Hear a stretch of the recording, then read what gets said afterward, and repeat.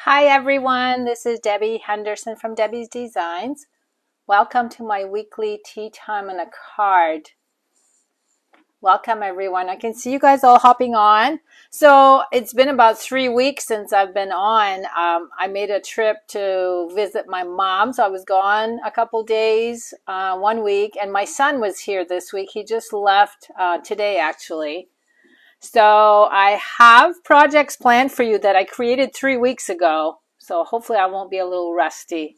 So welcome. I'm just waiting for everyone to find me. Okay, I can see you guys. So this is the last week of Sale-A-Bration.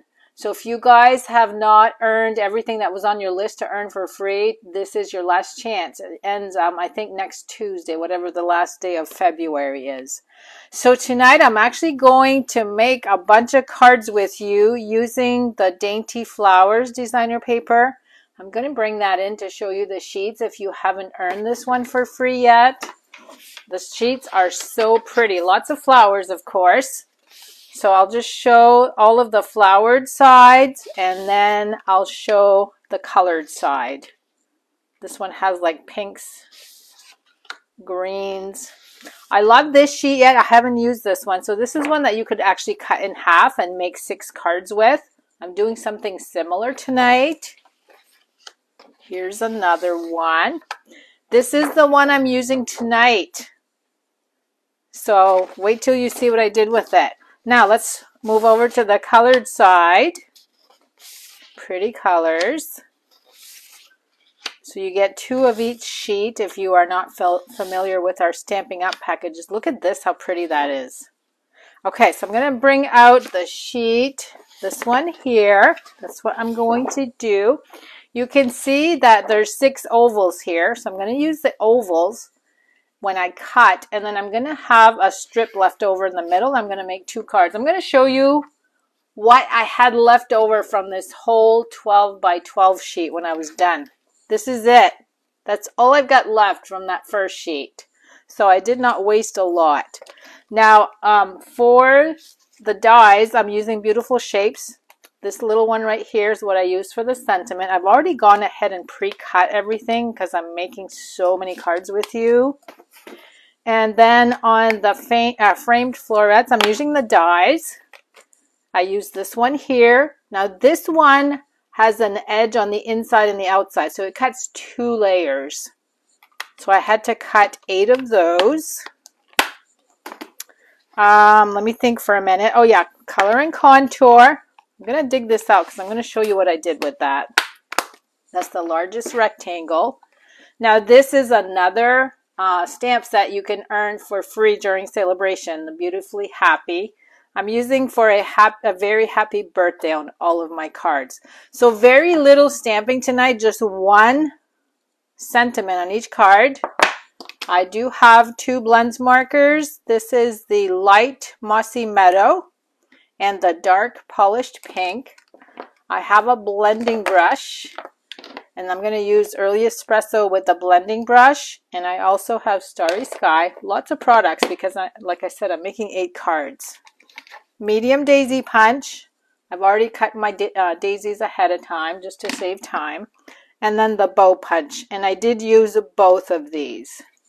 So let me show you what I did when making eight cards. That's a lot of pieces.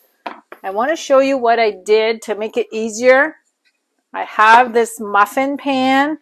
So here, here are all my pieces. I This one right here, these are all blank because I'm going to show you how I colored everything. So I'll dig those out. But you can see here that I have my little branches. That's where I use the polished pink marker to just color the flowered tips.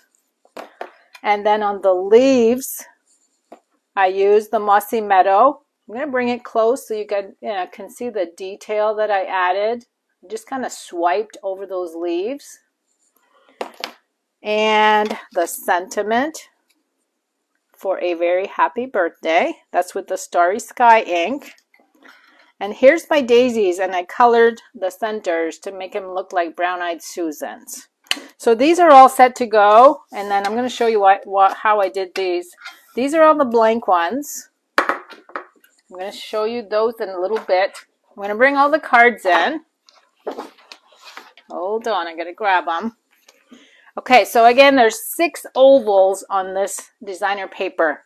These are all the same. So we get to make six of these. Four, five, and six. They're all the same. And then here's the designer paper strips. I, I cut two pieces. I put one on the right side and one on the left side. And you can see I have a scallop border. Now the reason I added that, once I have these cut the way I want them, they're not quite long enough to equal to the five and a quarter that we normally cut the second layer. So that's why I added this scallop here. And I also added a scallop to match these cards over on the long piece. Okay, so these are all the same. And what I did on the scallops, I used the rectangle. So we needed two longer ones. So here's my long pieces. I cut these about three quarters of an inch wide. So you'll see here, I did the long side. And on the shorter ones, I did the short side. And this is fresh freesia. Okay, I think I'm just trying to set up the card. Oh, and I wanted to explain on the oval also. Remember that I said it cuts two pieces. So each one of these is going to have the framed portion. And then I glued the oval down with dimensionals right back where it belongs. Okay. So let me bring in my paper trimmer. We're going to cut the designer paper first. So let me just make some room. Make sure you keep an eye on my stuff that I always lose. Now, I know a lot of you guys, the first thing you did when you got this package of paper and you saw this sheet, you said, I'm not cutting this. I'm not cutting into this. But you need to. You can make eight cards with this. So now what I'm going to do, I'm going to cut as close as I can by peeking in my track here. I'm going to cut, I'm not even measuring. Okay, there's my first three. I'm going to do the same thing by flipping this over. I'm just keeping an eye on the track here so I don't cut any of that coloring. Now this one we can cut in half at six, so we'll get the half point. And what I did on my two cards that use this, let me see if I can dig them back out. I didn't want to cut off the flower at the top. So I wanted to leave that intact. And I know this is five inches long. So I'm going to go ahead and cut these at five. And there's those two little pieces again that I said. That's all I'm wasting off of this designer paper. I just want to make sure you guys, I can see you guys. Whoops. Yeah, there you are. Okay, so again, this is all I have left. So I now have four of these. I could make a card with this, but I, I won't tonight. Okay, now we're going to go ahead and cut these. I know that these are exactly the same, so I'm going to put them together. And I'm going to cut them at four inches. So there's my first two ovals. Again at four inches. And I now have my eight pieces for my eight cards. My card bases, here's the rest of the supplies. My card bases are the Orchid Oasis. Is that what it's called? Yeah. 11 by 4 and a quarter. They're all scored at 5 and a half. So these are all the same.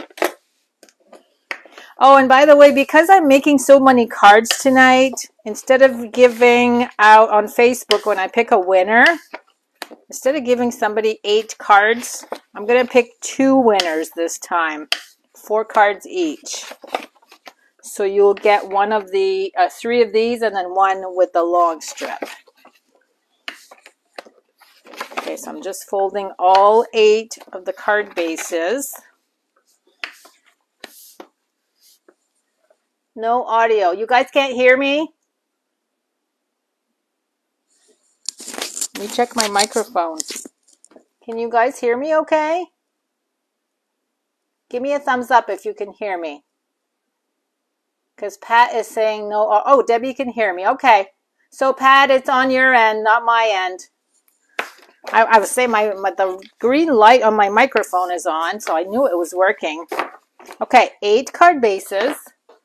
Now on the the one with the two piece, the two cards with the long, I had to add a white background. So these are five by three and three quarter, two of these. So I'm just going to dig one of these out and I'm going to demonstrate all of these pieces, what I did with each one. So I've got two flowers, early espresso ink. Now, in order for me not to get ink all over that flower, I just inked right in the center, gently tapped, and you'll see I'm just making little tiny circles. And there's my brown-eyed Susan. And I did not add any embellishments on the flowers um, because I figured I would be mailing this to two people. So you could add rhinestones or something in the middle if you wanted to. I opted not to this time. Okay, that's how I did my daisies. Very simple. Now I'm going to bring in my, I'm doing two of everything just so you'll see. Starry Sky ink for the sentiment.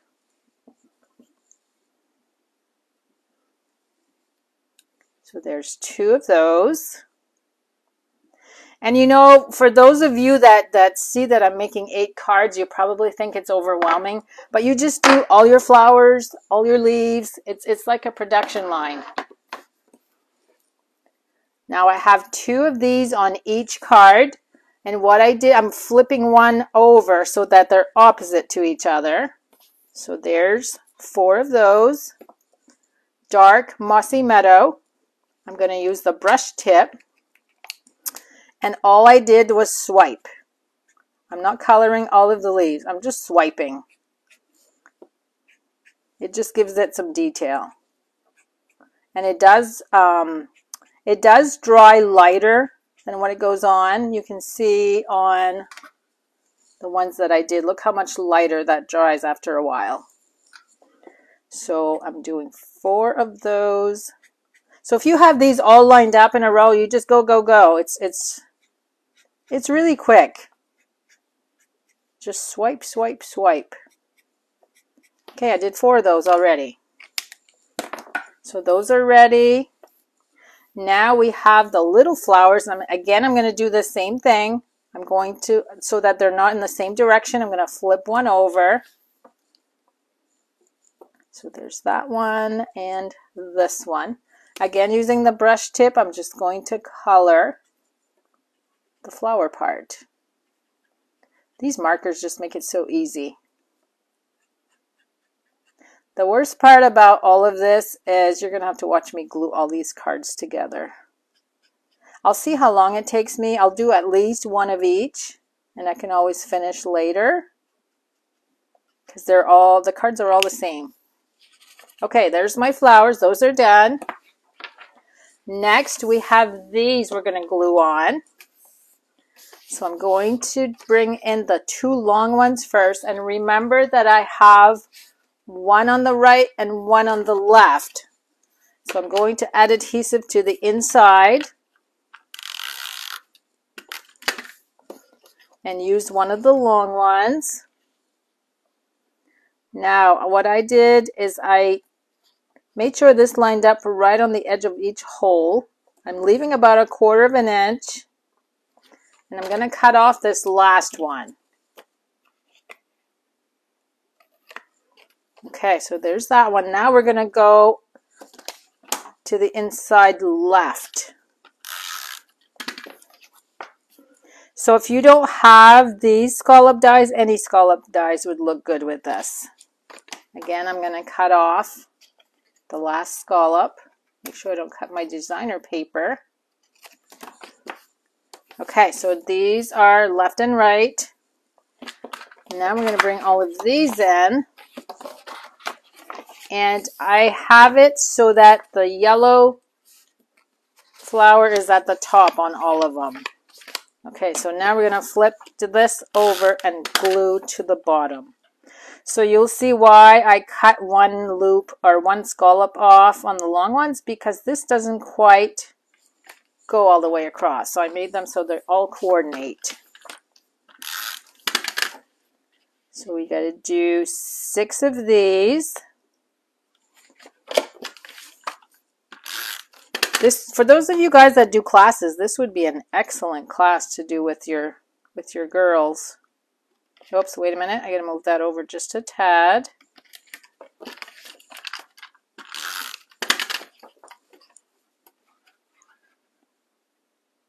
So this is number four. Two more of these.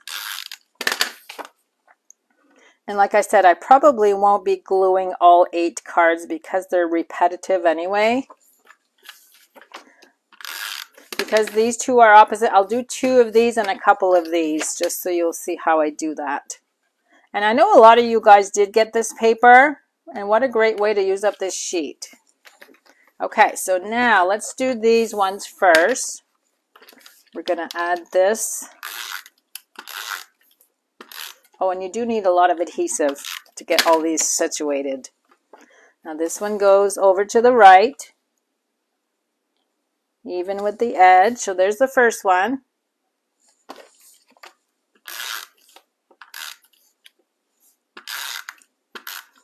This one's going to go over to the left. Okay, there's my first two. Now we can go ahead and glue those to the card bases. And wouldn't it be nice to make some kind of a folder to put these in? These would make they would make a nice gift. Okay, there's number one.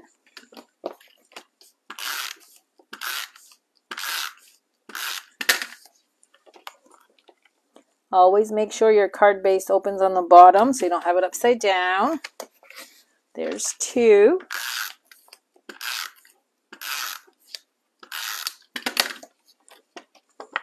And these fit perfectly. We don't need to layer any white on these ones. Okay, I'm going to go ahead and do four of these. So I'll have two of each. And I'll finish them after the video. And tomorrow morning I'll pick two names for my Facebook viewers. Okay, so these ones here I will finish. These are exactly the same as these two. Let me put two of these and two of these. Now here comes my little dandy muffin tin. So we need one, two, three, four. Two, three, four. I'm just going to start with that. I'm going to use liquid glue. And that's going to go right in the center of the oval. You are going to cover some of this. But just make sure that your oval is nice and straight. Whoops. Here's number two. The worst part about all this was cutting all those die cuts out.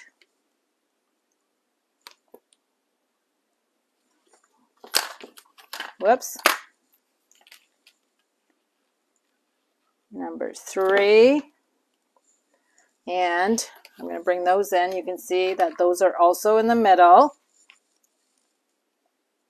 So I'm watching right here and right here to make sure I get that in the middle.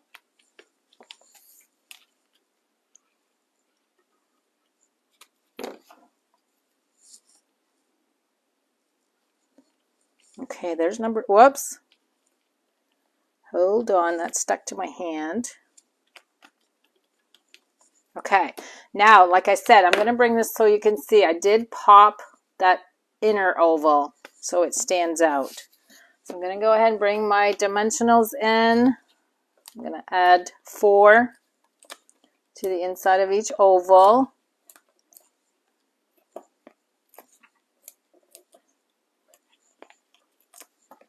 You could even do a, a, gift with four cards. You'd have enough for two people and do like a little folder to put them in. No stamping except for the sentiment. Okay, now I got to pull these all off. And you know I'm going to find these all over the floor. When you make a lot of projects like this, they always go all over the floor. Wait, I got that upside down.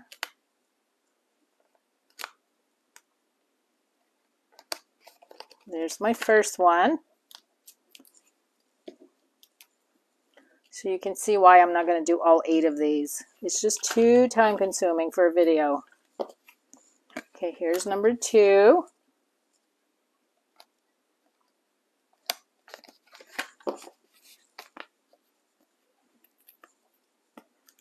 And I know a lot of you guys probably don't have the same punches. Any leaves, any branches, any flowers. What I tried to do is I wanted the brown eyed Susans because there's some in the designer paper. So I was trying to match the same flower shapes.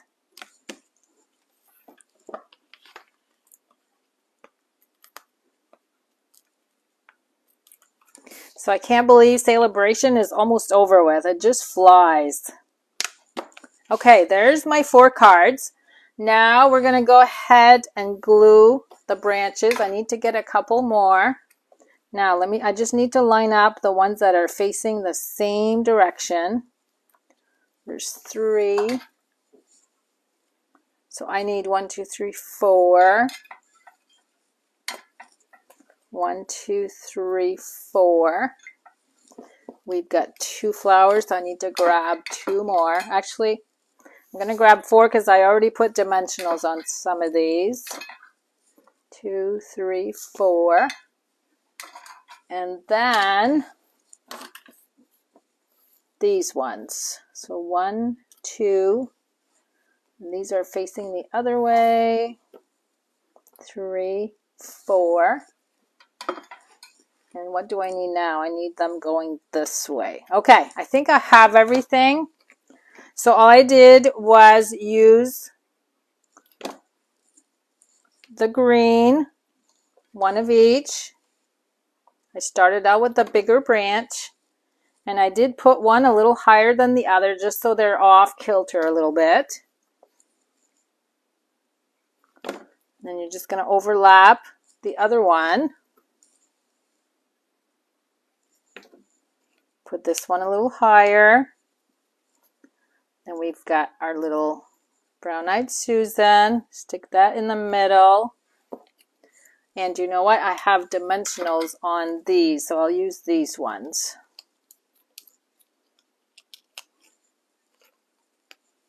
And that just covers the whole bottoms of those stems. So there's that first card, and you can always bend your petals if you want to. Okay, there's number one. So you can see once you have all of your pieces ready to go, it's quick to assemble. So that's why I would do a production line type thing.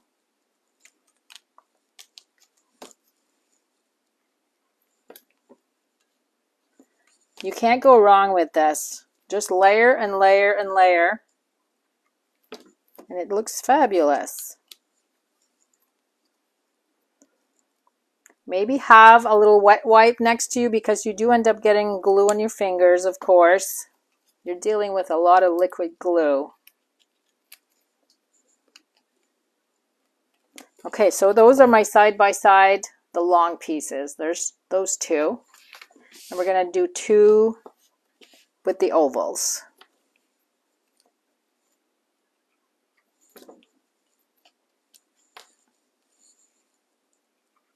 I think what I'll do this time, let me just continue on with the green.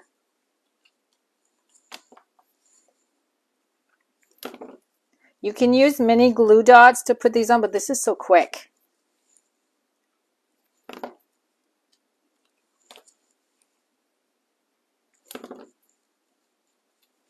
So these would be, will be halfway done when I, when I finish these two. I'll have four more to do.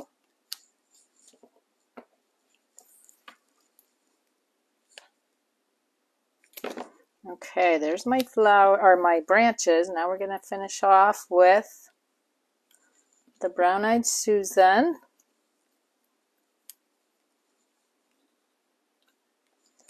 And the two sentiments. And I am halfway there.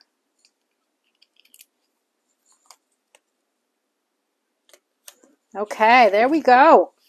So I'll finish up the other four. They're just like these. But let me go ahead. I'm going to set these aside. And I'm just going to bring up all of the completed cards so you can see them. Move some stuff aside here. So one, two, three, four, five. Where's my other one? I have another one somewhere. Okay, there's six of those. And then two of these for eight cards, you guys. So I hope you like my idea. I hope you give it a try. Make sure you cut that paper. You don't want it staying on your shelves just looking pretty. Cut your paper. So thanks so much for joining me. I will see you and next week. I am actually going to there was someone that requested that I show how to how I did the plaid on this card. So I'm going to do this next week, and I think I'll add another card too. I don't, I'm not sure yet. I haven't uh, prepared. But thanks so much for visiting with me today, and I will see you guys next week. Have a good week. Stay safe. Bye-bye.